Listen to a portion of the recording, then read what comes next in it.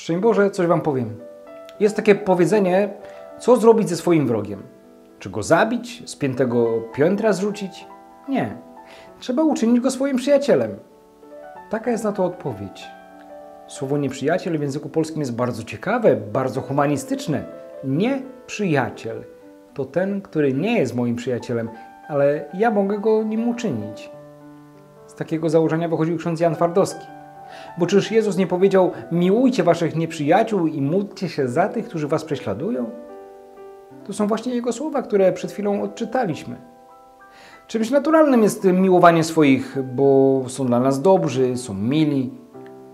A tych, co nam zaszli za skórę, trzeba trzymać z daleka. To jest takie proste. Gdybyśmy mieli zapytać się, czym jest chrześcijaństwo, odpowiedzielibyśmy miłowaniem wszystkich. Dlaczego ciągle ten test oblewamy? Przecież mamy w swoim życiu tych, co ich miłujemy, i tych, co nie lubimy, delikatnie mówiąc. Jezus stawia wysokie wymagania, ponieważ Bóg jest Ojcem wszystkich. Podejście do sprawy, żeby nikogo nie dzielić, tak jak czyni to Bóg, jest zajęciem na całe życie. Więc Bóg y, dba o to, żebyśmy się nie nudzili. Tu nie chodzi o zgodę na krzywdę, gdy faktycznie mamy takich nieprzyjaciół prawdziwych, co nas nienawidzą, ale byśmy zobaczyli, to przede wszystkim jest człowiek. On nie jest czynem, którego się dopuścił. Jego działanie świadczy o jego pogubieniu i on potrzebuje pomocy, bo sam się nie wyplącze.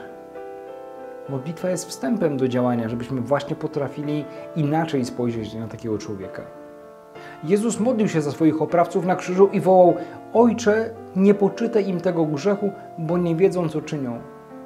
Tak też modlił się diakon Szczepan za tych, którzy go kamienowali. Modlitwa za nieprzyjaciół jest wołaniem o zdrowy rozsądek. Wczoraj była mowa o zasadzie oko za oko, ząb za ząb, że trzeba od tego uciekać.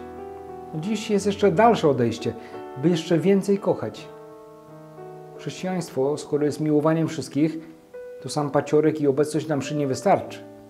Miłość nieprzyjaciół to wyzwanie dla niejednego z nas.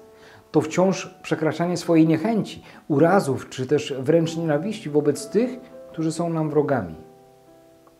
Jezus uczy nas przebaczać. Uczy nas dawać kolejną szansę tym, którzy jej potrzebują. Nie dziwię się, że tak wielu ludzi nie chce uczestniczyć w życiu Kościoła, bo w ich mentalności są nieprawdziwe informacje o tym, co ma robić chrześcijanin. Życie wiarą naprawdę wymaga zaangażowania nie tylko w czasie, ale przede wszystkim w działaniu. Kochać, nie oczekując niczego w zamian, to sztuka. Trzeba schować kalkulatory, żeby nauczyć się kochać prawdziwie. My jesteśmy do tego zdolni, choć może mamy mało przykładów obok nas. Wystarczy robić to, co do nas należy, a nie to, na co ma się ochotę. Czasem nasze położenie wymaga jednego proszenia Boga o cud w naszym życiu, by stało się to, do czego my nie jesteśmy zdolni. I tak właśnie jest z miłością do nieprzyjaciół, do naszych przeciwników, do tych, co nam z nimi nie po drodze. Panie, naucz nas kochać bez przeszkód, bez kalkulacji, bez oczekiwań. Naucz nas kochać prawdziwie i szczerze. पानंग हो गया